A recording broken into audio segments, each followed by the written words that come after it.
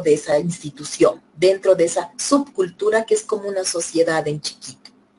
Entonces, una vez que eso sucede, la persona ya recupera, bueno, en realidad no recupera, sino construye una nueva identidad. Y esa identidad es la que lo va, lo que lo, que lo va a eh, denotar en el centro penitenciario.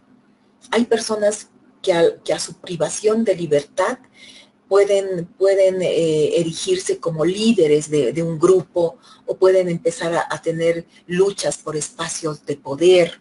Entonces, en función a eso, es que, la, es que ese lugar que ocupan va a constituir su nuevo lugar en la sociedad carcelaria, en la sociedad penitenciaria. ¿Ya? Y esa asimilación tiene que darse en menor o mayor grado de acuerdo a las normas, a los usos, a las costumbres de la cultura general de ese centro penitenciario, tal como lo decía Klemer.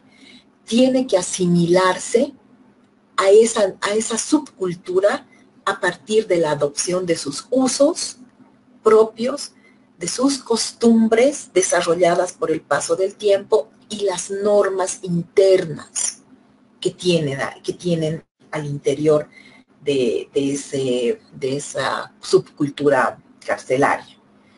Y esa propia asimilación a esa subcultura, lo interesante es que tiene que ver también con las personas que prestan sus servicios, que son los funcionarios públicos, y lo, incluyendo a la policía y a los civiles, que también se someten a esa institución total, asimilando normas, usos, costumbres, para poder eh, hacer que funcione toda esa, toda ese, eh, toda esa institución perspectiva, me gustaría mucho comentarles que hay eh, que la función penitenciaria desde el funcionario público debe requerir también de una selección minuciosa de estas personas, porque no todas las personas están preparadas para trabajar con privados de libertad. Entonces, eh, en la experiencia de trabajo he tenido casos en los que, por ejemplo, personal penitenciario, civil y algunos uniformados han mantenido una relación con los privados de libertad.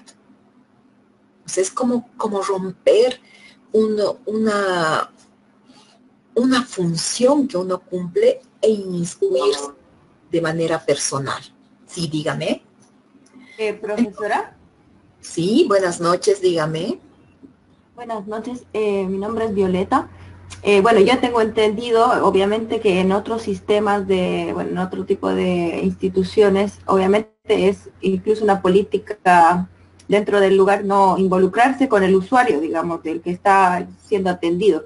Eh, obviamente que en penitencia, en un sistema penitenciario es mucho más, debiera ser mucho más sancionado, por supuesto que hay, este, de cierta manera, ciertos beneficios que podía ser otorgado al usuario, en este caso al, al interno, siendo que es una persona de orden, digamos, de seguridad la que está siendo la pareja de esa persona, ¿no?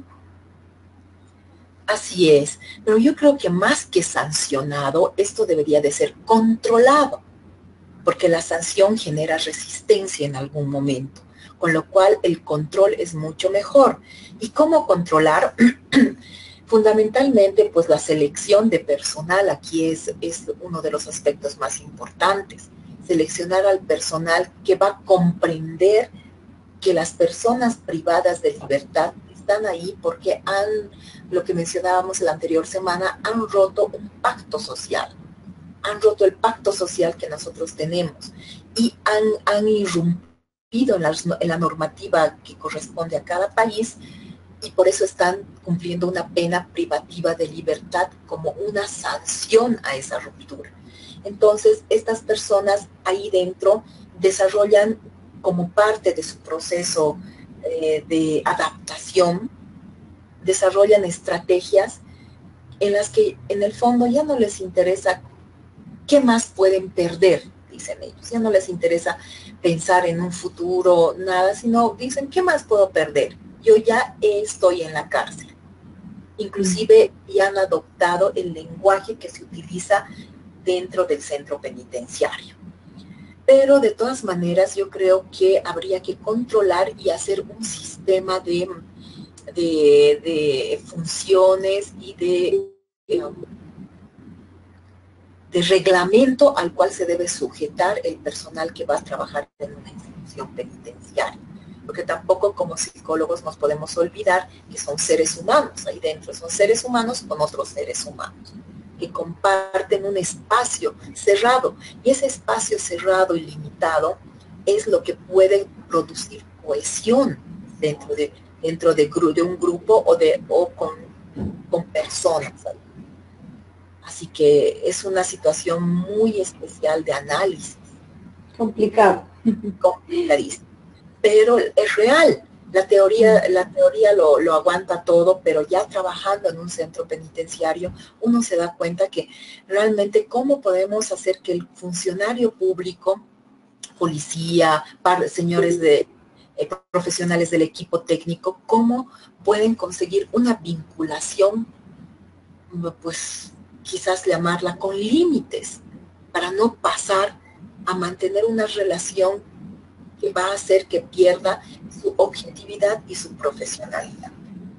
Bueno, en, función a esto que habíamos hablado, vamos a pasar a, a una temática que se llama proceso de prisionización.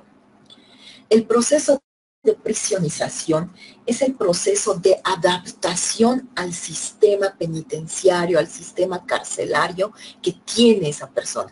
Técnicamente se lo llama proceso de prisionización. Y ese proceso de prisionización por algunos autores como Marco Marchiori, por ejemplo, fue, está siendo llamado la enfermedad de los barrotes.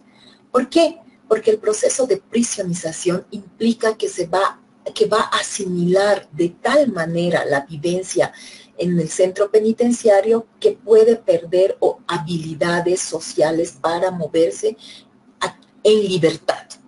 Entonces vamos a ver cómo, ustedes pueden observar que la persona ingresa con una personalidad previa.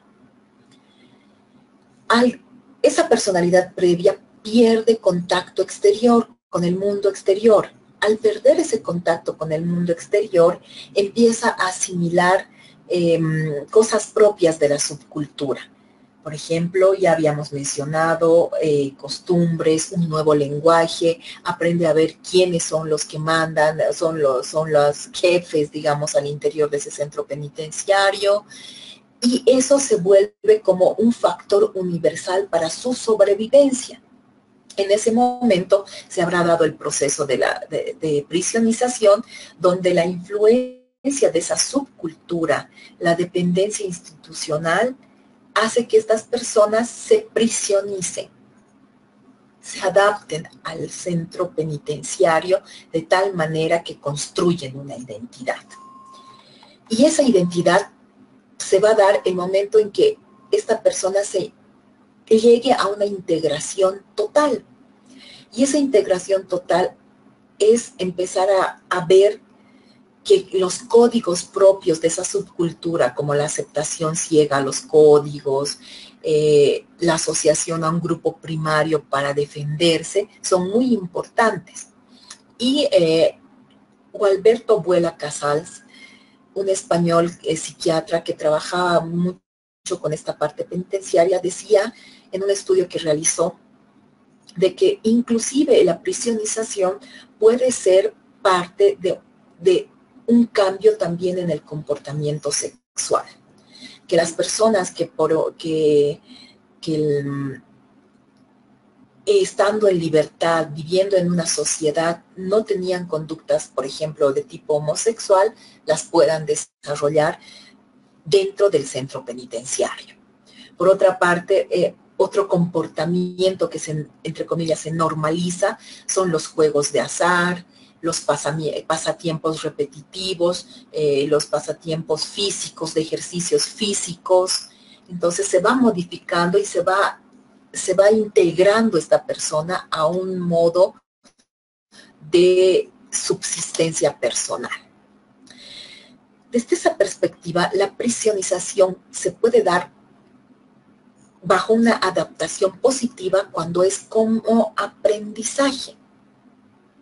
La prisionización como aprendizaje implica que la persona se ha adaptado, ha asimilado las pautas de comportamiento propios de ese centro penitenciario.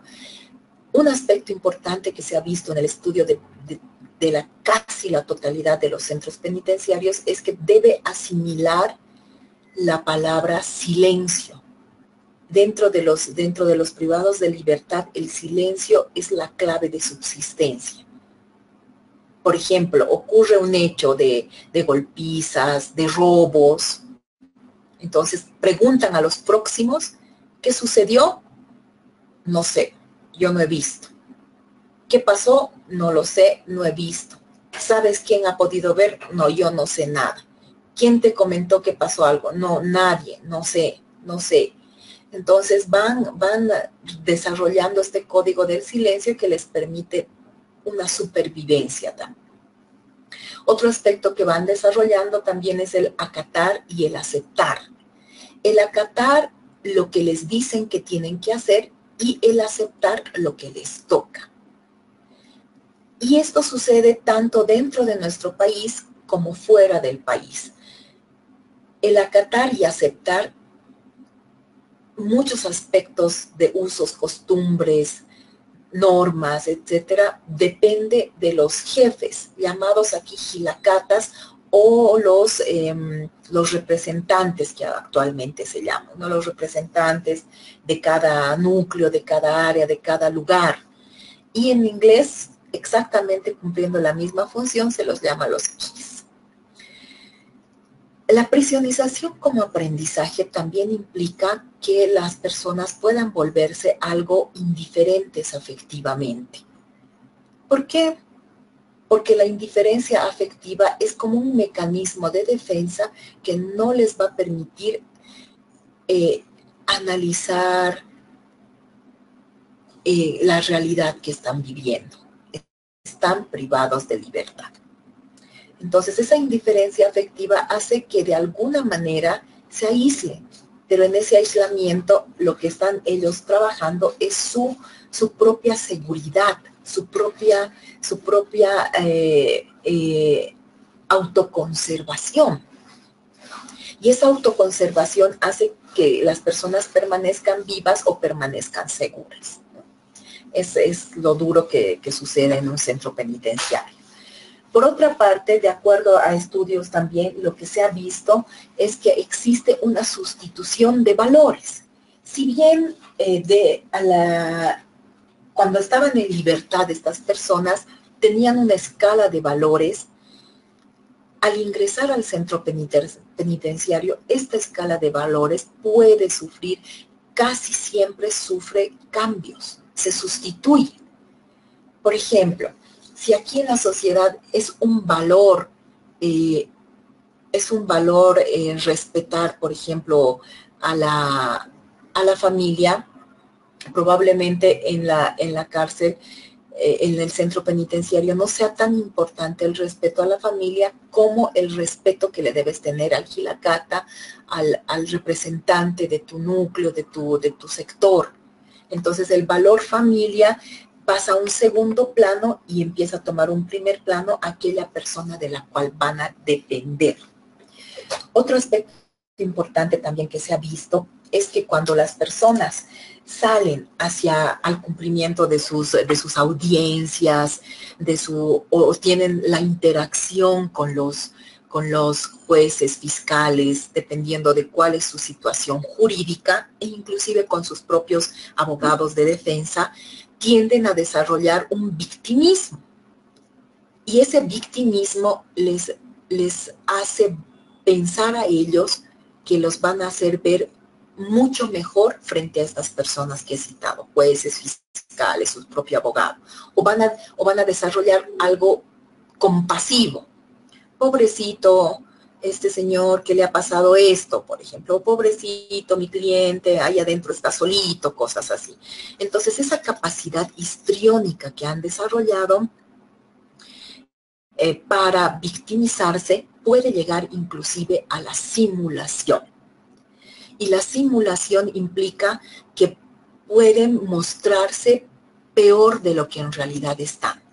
Si ellos están teniendo algún tipo de conflicto con, el desarrollo de esa capacidad para victimizarse, que en algún momento dijeron que puede ser hasta histriónica, están simulando, simulando situaciones, simulando sentimientos, que hace que la persona se victimice frente a otras y consiga beneficio secundario, pues un, un puede ser que los que se compadezcan de ellos, que los consideren más. La otra polaridad que tiene la prisionización, que es cuando no se adapta, se denomina la prisionización como deterioro.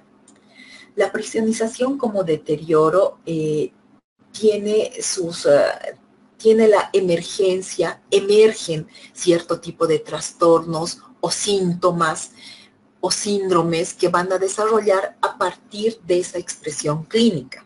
Por ejemplo, el síndrome de cáncer. El síndrome de cáncer es un tipo de, síndrome que hace que la, muy parecido al estado crepuscular, donde la persona pierde cierto contacto con la, con la, con la sociedad carcelaria, pero con fines de protección.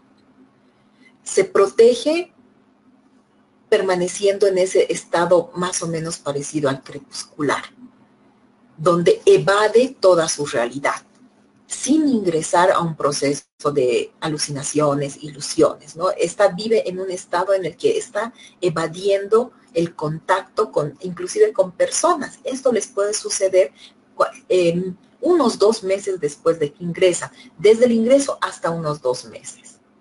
Sí, como un, como un, como un mecanismo de defensa propiamente. Sí, así es, Gustavo. Otra, otra, otra forma de prisionización como deterioro es la pseudodemencia carcelaria. Esta pseudodemencia carcelaria fue estudiada eh, en, cerca a los años 20, 30, 40 y por eso, por, la, por el parecido y porque pensaban que su ubicación estaba en la, en la zona de Wernicke, en principio se la ha denominado la demencia pseudocarcelaria de Wernicke, porque pensaban en su ubicación, pensaban en, en el autor, Wernicke, pero en realidad es una demencia que en la actualidad podríamos llamarla carcelaria porque solamente emerge cuando la persona ha sido privada de libertad. Y ahí esta pseudodemencia es como una demencia, como una demencia senil en, la que no hay, se pierden ciertas facultades y esto puede ser, puede ser circunstancial hasta que el proceso de adaptación se dé o puede ser permanente si la persona no ha podido desarrollar eh, ciertas capacidades de adaptación. Sí, tiene que ver con la orientación, tiene que ver con la, con la capacidad de, socializarse, tiene que ver con la capacidad de estar en, presente en tiempo, espacio y persona, estar muy presente su, mm, orientación temporal autopsíquica y alopsíquica que llamamos. Es verdad, eh, a los que están opinando, se da a ese nivel. Otro, otro deterioro, trastorno que puede, que puede aparecer es el síndrome de Munchausen. El síndrome de Munchausen, sí, el insight, pues, el síndrome de Munchausen por poderes que se llama, ¿no? Se ha visto que en las personas privadas de libertad el síndrome de Munchausen por poderes lo pueden hacer con un compañero que es próximo a ellos, pero lo que en realidad persiguen es la atención a ellos mismos, tal como lo dice el síndrome de Munchausen. Con respecto a los estudios de simulación, se ha podido ver que las personas que están dentro del sistema penitenciario tienen ciertos, eh, ciertas características más específicas que la simulación que se da en un cuadro que se puede presentar fuera, de, fuera del centro penitenciario, ¿no? A veces nos llegan casos de personas que, que se quieren mostrar mejor de lo que están o que se quieren mostrar peor de lo que están en realidad. Entonces, la diferencia va a estar dada en que la persona privada de libertad va, va a comenzar a simular y lo que... Eh, en lo que deberíamos de estar atentos es en la estabilidad y la continuidad de ese cuadro clínico. Ese cuadro clínico es estable, es continuo en el tiempo y responde la etiología y los síntomas, responden a ese cuadro que esa persona dice que tiene. Y ahí vamos a hacer nuestra, nuestra correlación entre la simulación o la disimulación. Por otra parte, cuando nosotros realizamos la entrevista, la entrevista a esta persona, podemos observar gran número de respuestas evasivas, gran número de respuestas incompletas que van desde sí, no, eh, lo que usted dice. Eh, usted, por ejemplo, en casos de depresión, ¿usted se está alimentando correctamente? No, porque ya sabe que eso es parte del cuadro. Y un aspecto importante es que a pesar de que uno está interviniendo en cada uno de, los síntomas o en lo que dice tener esta persona y en algunos casos hay, eh, coordinación con psiquiatría para medicar, vamos a notar que existe gran resistencia al cambio, al tratamiento no, no nos logramos explicar del todo por qué esta persona, a pesar de ser medicada, a pesar de estar en un proceso terapéutico, no llega a tener resultados. Es porque probablemente nunca tuvo nada, simuló o disimuló y eh, hay confusión con, con, su, con su sintomatología y la enfermedad que dice tener. Continuando con la prisionización como deterioro en cuanto a lo que significa la expresión cognitiva, conductual y afectiva, la pérdida de libertad y el estado de soledad con el que la persona se encuentra al ingreso al centro privativo de libertad hace que se aísle se aísle y permanezca cerrado o en su habitación o en el mismo patio común, en un rincón, que, que no quiera conversar con otros privados de libertad, que, que, que sea más un observador que un participante, que hasta cierto punto rechace la, la proximidad de las otras, de los otros compañeros y eh, esto se ha visto que es frecuente, especialmente cuando la, interrupción de las relaciones interpersonales con las personas significativas ha sido un golpe emocional muy fuerte para la persona. Entonces tiende a aislarse, empieza a desarrollar un miedo muy grande porque piensa que no va a sintonizar, que no va a poderse adaptar, que no va a poder, que no va a poder eh, em, acostumbrarse, como llamamos, al medio, al medio del centro penitenciario. Entonces, esa dificultad para sintonizar hace que pueda entrar en un proceso de deterioro a través del aislamiento. Otro, otro aspecto es que empieza a a ver consigo mismo cuál es su capacidad de frustración. No es que ellos analicen teóricamente y técnicamente, ¿no? Pero su frustración se ve enfrentada con una realidad que él no puede manejar y esto puede hacer que desarrolle conductas agresivas, hasta violentas, pero nuevamente como un mecanismo de defensa me defiendo de ese ambiente hostil, de ese ambiente que yo percibo todavía hostil. Porque su necesidad de sobrevivir hace que es mejor que, por ejemplo, en el caso de la frustración, es mejor que yo ataque, como decía uno de sus compañeros, a que, a que me ataquen a mí. Entonces, la frustración hace que se vuelva un tanto agresivo.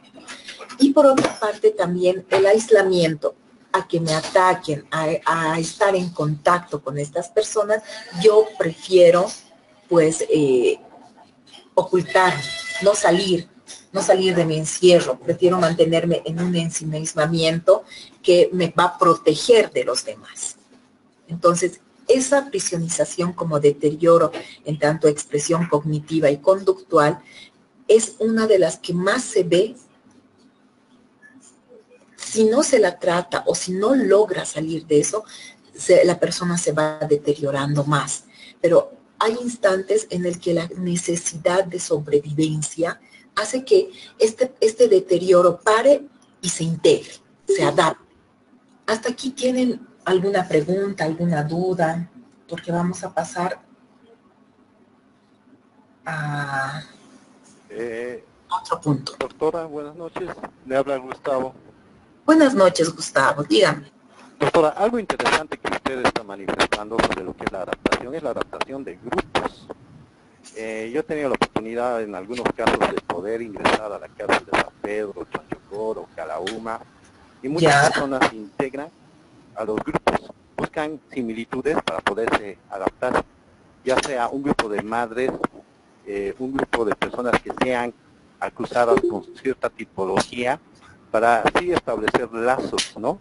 Y eso se ve también en algunas películas, en algunas, en otros países, para poder tener una defensa contra otros mismos grupos. Entonces, eh, eso es un pequeño aporte. Ahí se puede reflejar el idioma, las características, las pandillas, incluso dentro de las mismas cárceles, o los mismos, o dentro de las mismas tipologías de delitos, pero sin embargo, eh, los rasgos de personalidad, como usted manifiesta, se van no transformando, sino se van adaptando. Ya, eh, qué sé yo, entra un neurótico, pues ya ahí más o menos trata de volverse más óptimo, ¿no? O sea, ya se vuelve un, ya refleja lo más oscuro de él, ¿no? Eso es lo que he podido apreciar. Claro. Lo contrario.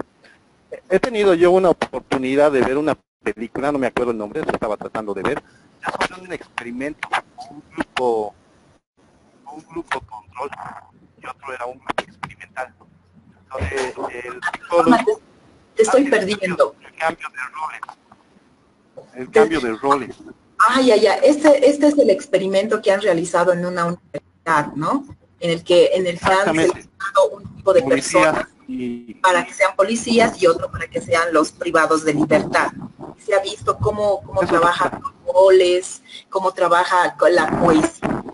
Eso en sí es una película de, basada en real.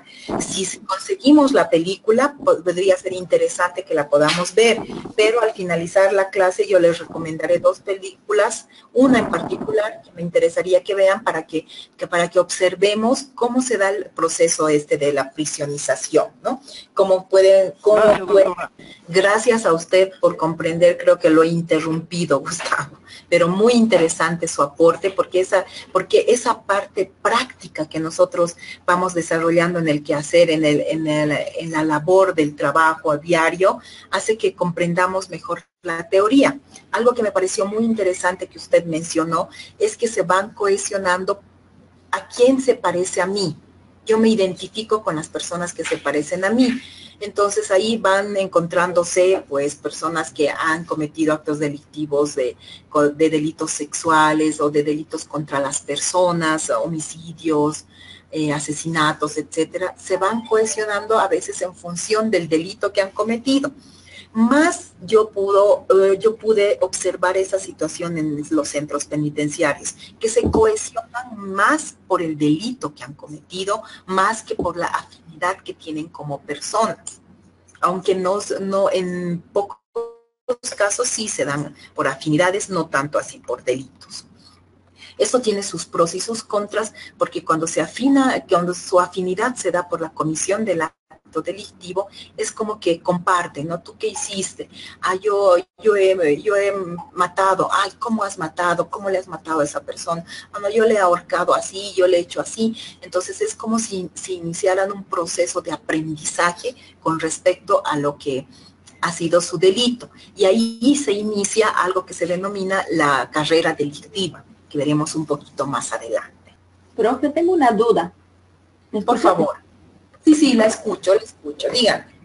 Viendo el tema de la, digamos, pertinencia de contratar personas obviamente idóneas para el cargo del tema del sistema, principalmente, digamos, del sistema penitenciario, psicólogo o también eh, los policías que están ahí adentro, em, existe, digamos, estandarizado un dispositivo para eh, evaluar a las personas que trabajan en un sistema penitenciario, eh, tal vez no en Bolivia, pero en algún otro lado existirá una, digamos, eh, batería más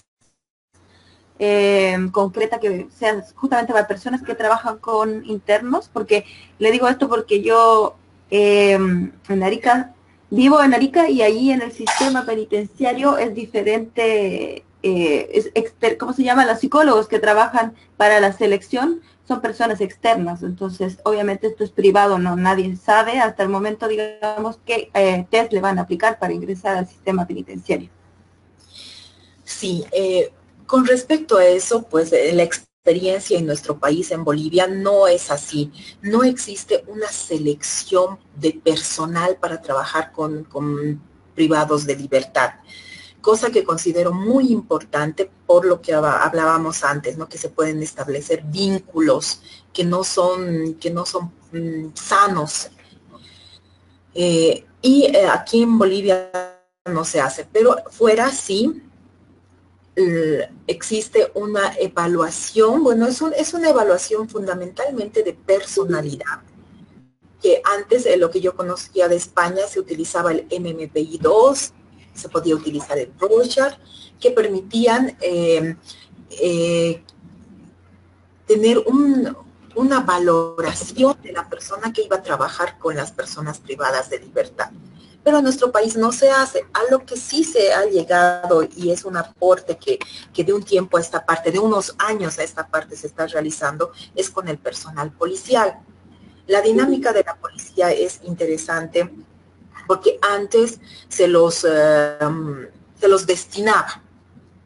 Estás destinado a, penitenciaría. Y nadie quería ir a estos, a, estos destinos porque son sumamente peligrosos. Pero de un tiempo a esta parte se está creando eh, una formación en sistemas penitenciarios para funcionarios policiales donde sí se, sí se toca mucho, uno, la psicología de las, eh, de las personas, o sea, em, de la personalidad, y se hace un análisis con los trastornos de personalidad. Se toca muchos aspectos como em, eh, el desarrollo de conductas asertivas, eh, por lo menos hasta donde yo pude trabajar en esa parte de, de la mm, capacitación eh, realizando un diplomado para los policías y se, se le enseñaba muchas técnicas de resolución de conflictos que no sean eh, violentos, digamos, utilizando la parte física.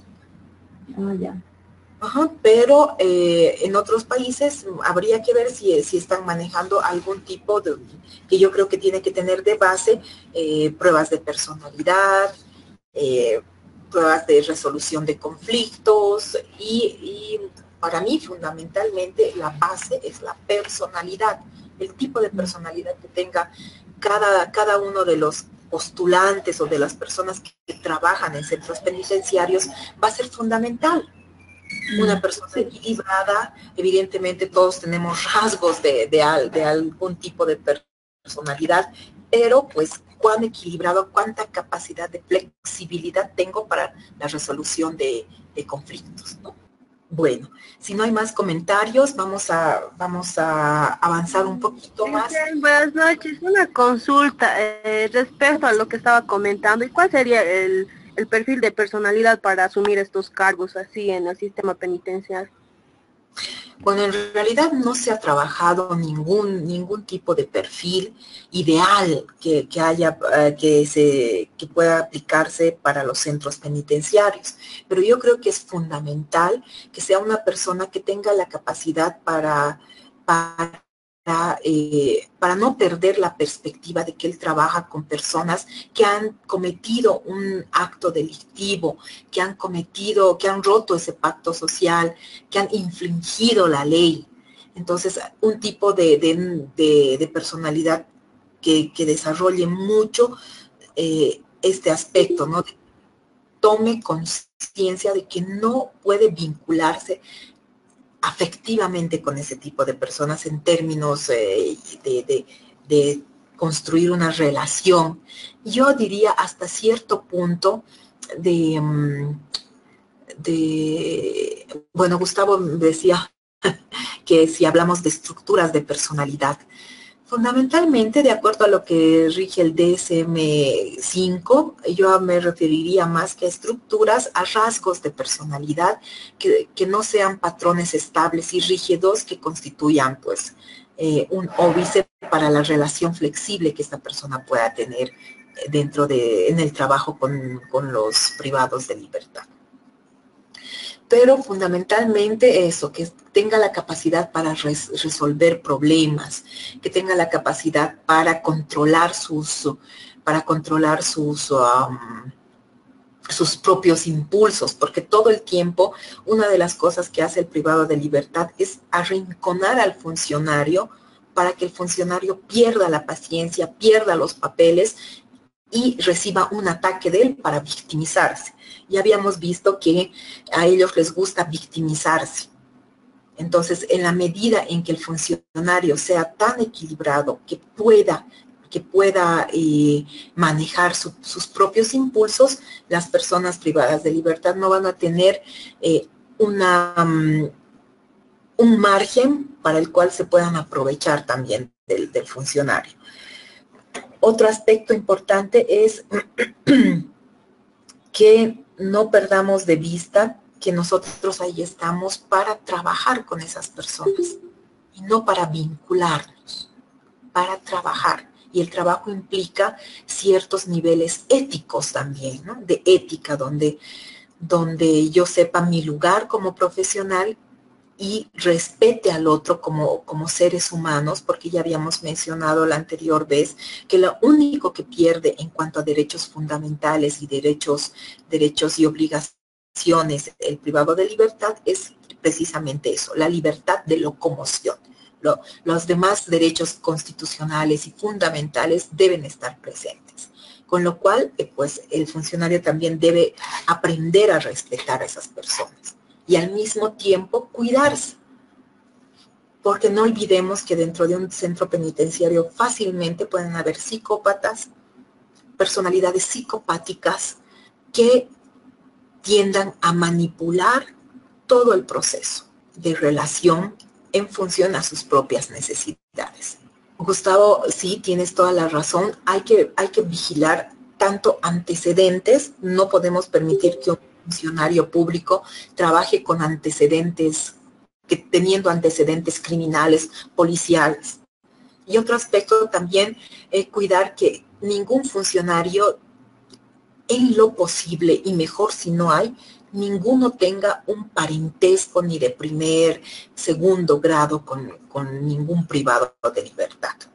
Esos deberían de ser requisitos muy marcados, no parentescos, no, no presencia de trastornos, porque trabajar con esa población es difícil.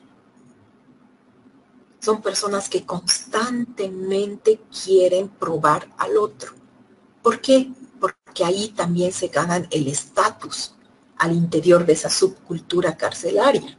En la medida es debilitar al personal. Ahora tocamos eso. En la medida en que yo eh, tenga un equilibrio y no permita que aquello que me digan o me hagan vaya a traspasar la relación profesional, el personal va a vivir más sano en términos de salud mental.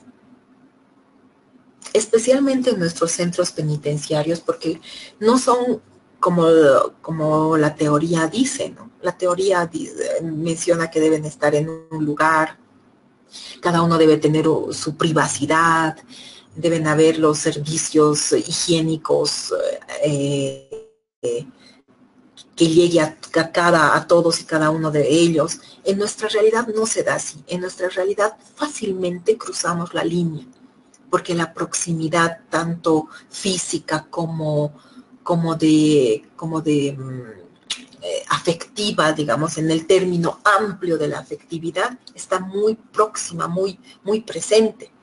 Los límites, por ejemplo, nosotros no, en un centro penitenciario nuestro no existe em, como núcleos en los cuales un, un funcionario policial, por ejemplo, puede ver qué cosas están haciendo los privados de libertad, pero sí de, dentro de una, de una seguridad.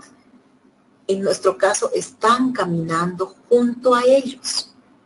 Y eso hace que también se dé esa proximidad y eso hay que cuidar mucho. Licenciada, buenas noches. Buenas noches. Buenas noches. Una consulta este trabajo permanente de ya sea de funcionarios policiales o personal administrativo del régimen penitenciario podría provocar tal vez un deterioro en la salud mental de, estos funcionarios porque es el caso de funcionarios policiales que permanecen años en centros penitenciarios y llegan a crear vínculos, lo que usted mencionaba. Yo creo que sí, yo creo que hay que cuidar la salud mental de los, de los ah, funcionarios porque quieras o no, también ellos pasan por un proceso de prisionización porque tienen que adaptarse a esa subcultura desde su posición de funcionarios. Tienen que, tienen que eh, eh, trabajar en el caso de los policías, por ejemplo, obedeciendo la orden del superior y a la vez atendiendo a los privados de libertad. Entonces, eso puede un poco eh, cansa psicológica, psíquicamente, existe un cansancio. Y para eso yo creo que habría que desarrollar medidas diferentes de trabajo. Sí rotan los policías, sí. Y eso es bueno y malo. Rotan de trabajo y se pierde experiencia. Si llega uno nuevo, el nuevo empieza desde abajo y empieza a interiorizarse. Empieza ese proceso de prisionización, pero desde el funcionario, ¿no? Empieza a ver qué pasa, cómo se mueve, cómo son esas personas, cómo, cómo trabajan mis compañeros. Y, y ahí se pierde como una, una secuencia, especialmente con el personal del equipo multidisciplinario. Y eh, eso es lo que creo que hay que cuidar, ¿no? Que es bueno y malo el rote policial. Y con respecto a lo que decías tú, Rubén, sí, la salud mental para mí es fundamental. Entonces, yo creo que de parte de las personas de las cuales depende, o sea, el régimen penitenciario, debería de haber eh, una forma de horarios de trabajo que sean diferentes, diferentes. Eh, diferentes eh, en cuanto a diferentes a los comunes, ¿no? no las ocho horas, sino tal vez ver 24. Y como hace un momentito leía un texto que sí no se contempla esa situación, deberíamos de pensar en que en el centro penitenciario no tendría que trabajarse, por ejemplo, personal de oficina, ocho horas, cuatro, cuatro tal vez tener otra forma de trabajo que haga que su estado de salud mental no se vea interrumpido, no se vea eh, afectado. Otro aspecto y el, y el que más preocupa es el de los policías, porque sabemos que la, policía está encargada de la seguridad en perímetros interno, medio y externo el perímetro interno, que es al que no se tiene mucho acceso porque ahí sabemos que hay lugares a los cuales la policía no llega, y el perímetro externo, que a los cuales la policía tiene que más bien ver quiénes ingresan y quién no. A partir de eso, tenemos que ver, o, ver que el personal sea diurno y nocturno, habría que analizar toda esa situación en función al tipo de trabajo específico que desarrollan estas personas. Pero desde mi punto de vista, algo esencial es no descuidar y lamentablemente el, el personal penitenciario a todo nivel es descuidado. Es desgastante trabajar con personas que, que están prisionizadas, que en la, en la mayoría de los casos o en gran parte de los casos busca eh, manipular al otro con sus fines, fines propios personales. Patricia, buenas noches. Eh, quisiera hacerte una consulta, pero antes, eh, bueno, una reflexión de repente.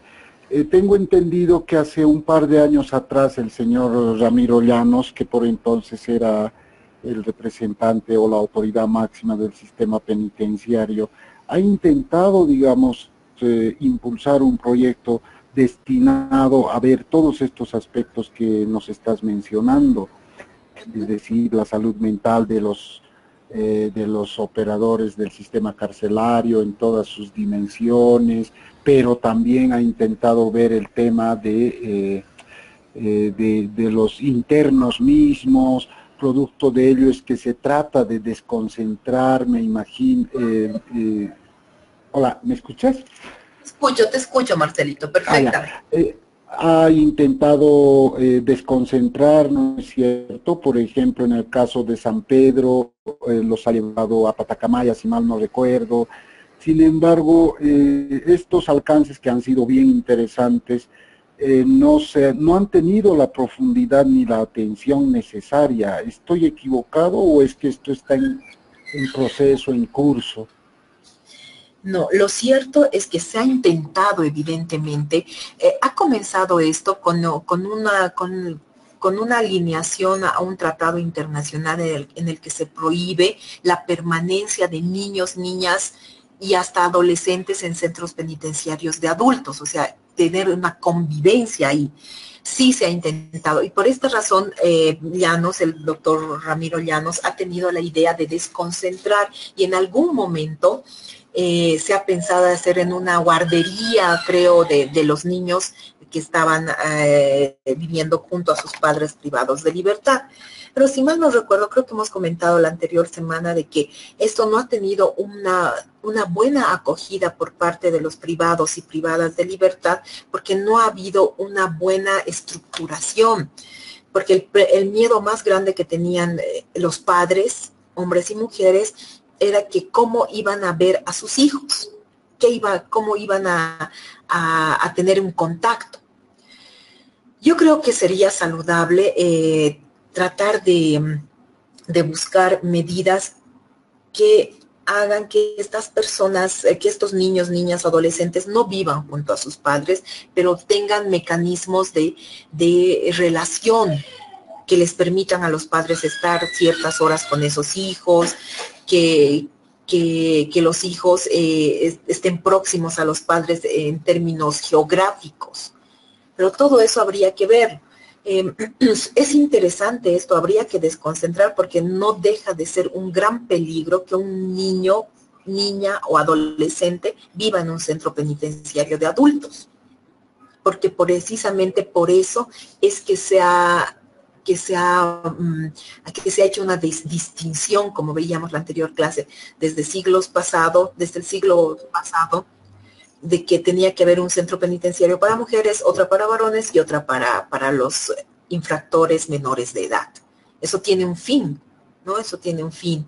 Y el fin es fundamentalmente precautelar lo que alguien mencionaba acerca de la salud mental. Yo creo que habría que revisar y volver a abrir esa compuerta de qué se va a hacer con los niños que viven en centros penitenciarios, niños, niños y adolescentes. Doctora, buenas noches. Le habla Lindsay. Buenas noches, perdón, no escuché tu nombre. Doctora, buenas noches, soy Lindsay. Lindsay, eh, doctora, eh, tengo una opinión al respecto, muy de acuerdo con el compañero que me antecedía con Marcelo. Evidentemente, cuando el doctor Llanos entró al régimen penitenciario, entró pues como se dice con patada voladora porque él tenía excelentes ideas desde mi punto de vista.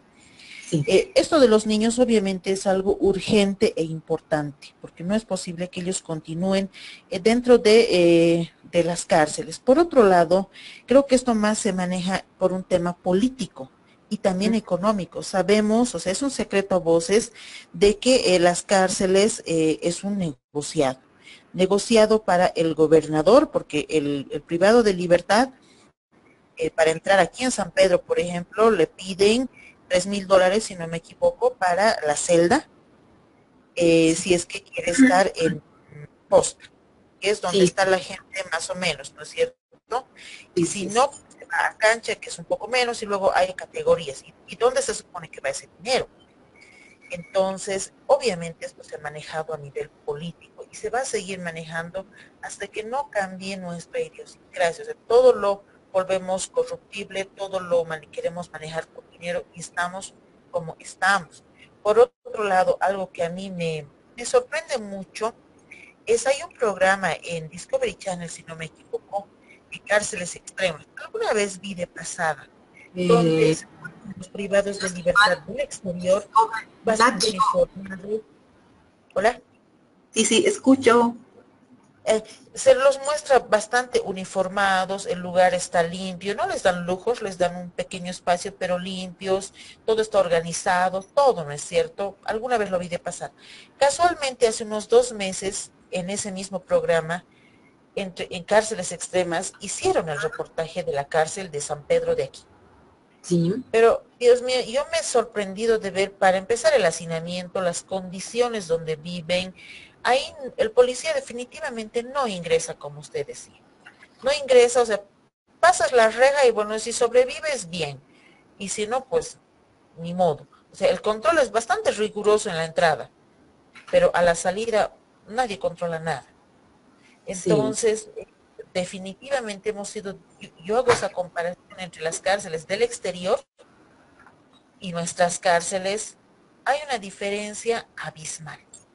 Abismal. Y eso solo lo vamos a cambiar cuando cambiemos de idiosincrasia. Claro ejemplo, el doctor Llanos fue cambiado porque quiso hacer los cambios y fue removido de su cargo.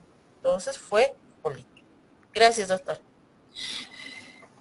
esto que ha mencionado la compañera realmente tiene una, muchas aristas, mucha, mucha tela por cortar, porque es verdad, es verdad, si nosotros queremos hacer un cambio real y que se convierta esta institución total como reza nuestra, nuestra normativa, como un sistema progresivo que permita la reinserción, la rehabilitación y la reintegración, refiriéndonos a los adolescentes, pues sería una maravilla. Pero ¿cómo podemos nosotros em, eh, hacer un pequeño cambio desde nuestro, desde nuestro trabajo? Es conociendo lo que correctamente se tiene que hacer. Correctamente. Y empezar a, empezar a hacer, em, empezar a, a trabajar de manera profesional en el área me he quedado leyendo un poco el, eh, un mensaje de, un compañero que, habla así de, que se doblega a las personas, manipula, etcétera. Sí, es una la institución total y en este caso el centro penitenciario es una de las instituciones más difíciles de trabajar por las condiciones humanas y de infraestructura que se tiene. Y más esto se maximiza si analizamos lo que implica el proceso de prisionización. Buenas noches. Buenas noches, licenciada. Quien le habla es Lourdes Tolín. Lourdes, ¿cómo estás? Bueno, buenas noches, gracias. Estoy bien. Eh, referente al tema, eh, totalmente acorde a lo que decían mis compañeros que me han antecedido, hablar del sistema, como dice la palabra, es un sistema penitenciario no solamente involucra a los reos, involucra a los que están inocentemente los niños, las esposas, la, los policías que están ahí. Realmente eh, la defensoría de la niñez y adolescencia se ha quedado chiquita ante todo este sistema. Siento que están enclaustrados, se ha quedado chiquita, porque me acuerdo que hace más de 5 o 10 años tal vez atrás han querido intervenir y sacar a los niños porque se han acogido a, normativas y todo eso y que han amenazado a, a justificarse, todo, todo, y lo han tenido que dejar. Entonces ahí está la pulseta de quién pisa y quién es más. Y siendo reos, nos siguen ganando en la normativa. Porque bien, si bien existe, pues bien va y seguimos incumpliendo. Y seguimos incumpliendo todo eso.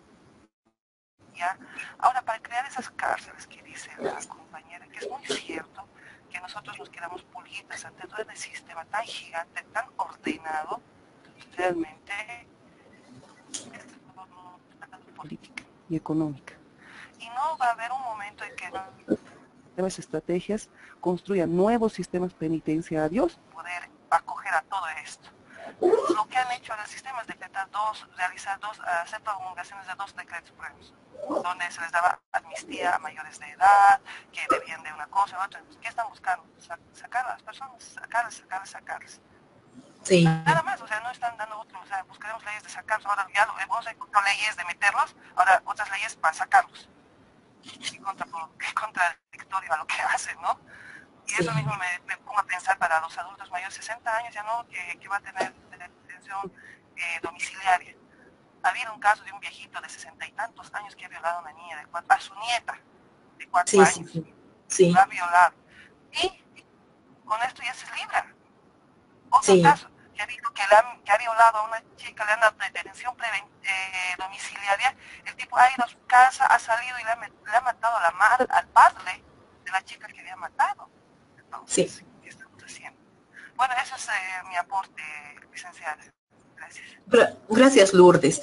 Con respecto a lo que tú decías, evidentemente con estos decretos supremos o decretos ley que van elaborando el gobierno, lo único que hace es desconcentrar, despejar los, los, los centros privativos de libertad, pero no soluciona el conflicto que, se, que es parte de la política criminal, ¿no? La seguridad ciudadana y la, el control delictivo.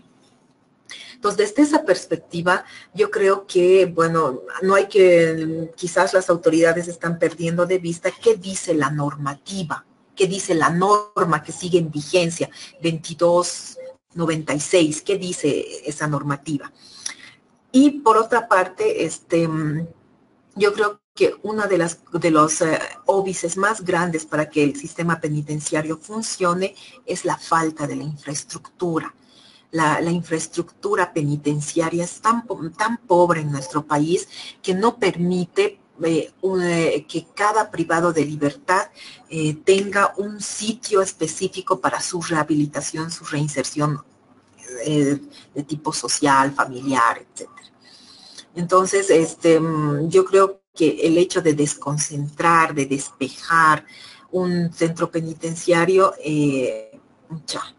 va a tener sus, sus, riesgos, porque como mencionaba Lourdes, este señor de sesenta y tantos años que abusó sexualmente a una niña de cuatro años, ahí es donde la función de la psicología debe tomar peso, porque no es la edad per se la que va, va a controlar el delito. Ahí vuelvo a ratificar que lo más importante es la personalidad. ¿Qué pasa si este señor tiene una personalidad de tipo o digamos, psicopática, que, va, que es muy probable que reincida. Entonces ahí la, la intervención de la psicología jurídica y forense desde la perspectiva de la evaluación de la opinión profesional es muy importante. Mañana veremos eh, lo que es el estado de peligrosidad y la carrera delictiva, que eso nos va a, nos va a abrir la puerta a cómo hay que evaluar a estas personas. Así que yo me despediría con esto, de que sí, el problema de infraestructura, sí, el problema de los funcionarios, de, en general el prestar atención a esto del sistema penitenciario es importante porque no estamos midiendo que tal como nosotros como ciudadanos, como personas de este país, estamos estamos eh, creciendo, la población carcelaria también crece. Imagínense el hacinamiento terrible que se vive en San Pedro, en algún momento va, va a reventar, porque no hay dónde más. Hay gente que duerme en el gimnasio, hay gente que duerme en entretechos, hay gente que debajo de las gradas se construye todas las noches algo, algún lugar para dormir.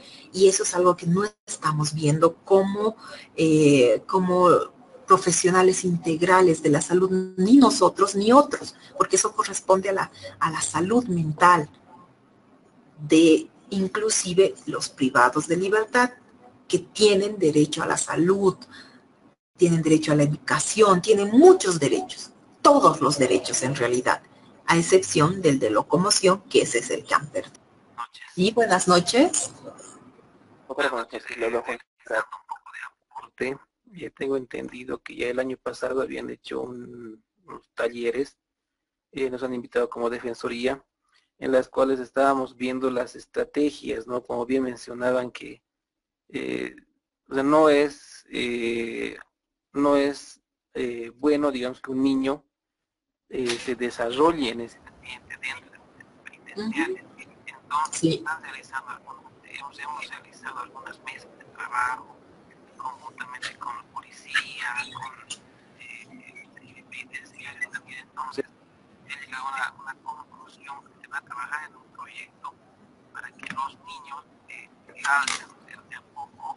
Trabajo social, tengo entendido que está haciendo una investigación caso por caso para eh, buscar familia ampliada, lo que se refiere, y como también si es que hay visitas, mejorar los ambientes para las visitas, porque dentro de la cárcel no hay un espacio, digamos, adecuado para que puedan evitar las visitas.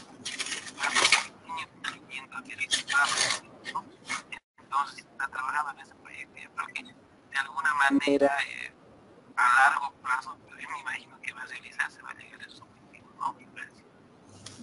Sí, sí, eh, yo creo que se están dando pequeños pasitos, pero que habría que sostenerlos en el tiempo, porque ya vemos que ante la propuesta, por ejemplo, del, doctor um, Llanos, el doctor Llanos, podía ser acogida y viabilizada, pero ahora tenemos que trabajar paso a paso en cómo podemos hacer más viable la salida de los niños de, los centros penitenciarios, más viable la posibilidad de tener lo mejor posible a los privados de libertad.